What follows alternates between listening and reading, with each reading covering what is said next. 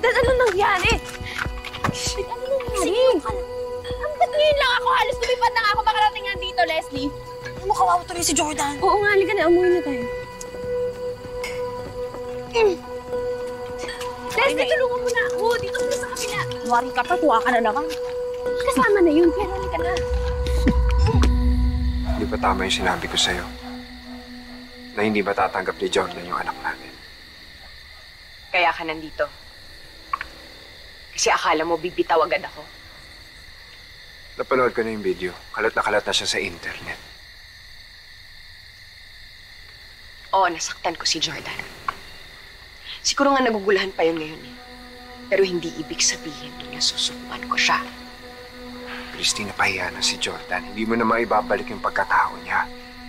Kahit magkabati kayo, hindi niya na makakalimutan yung panlulokong ginawa mo sa kanya. Minsan lang nangyari yon, Leon.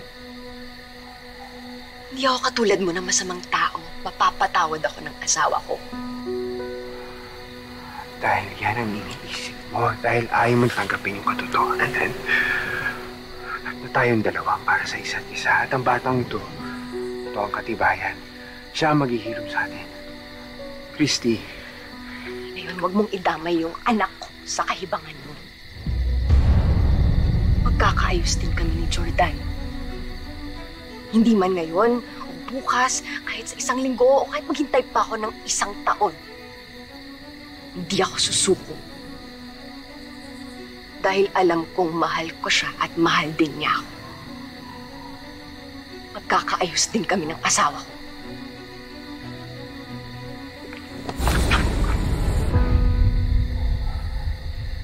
Let me go.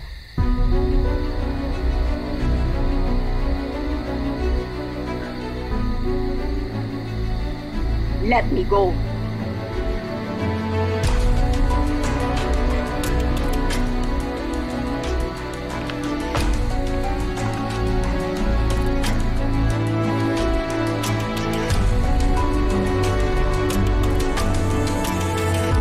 Jordan, sana hindi ka na napagpugbugan doon sa mga walang hiyang yun.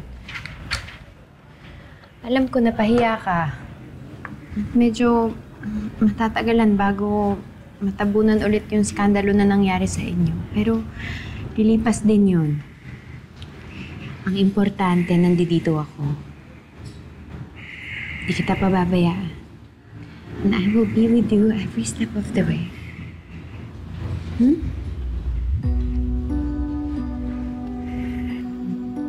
Sino yung lalaki yun? Namumukaan ko po siya eh. Ah, siya po yung kasama ni Nanay Christy sa picture, yung hawak kasama niya.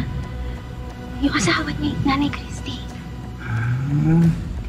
Eh, anong ginagawa niya dito? Anong kinalaman ng tito mo sa asawa ni Bangus? Parang in love si Tita Shaira, no? Doon sa asawa ni Nanay Christy.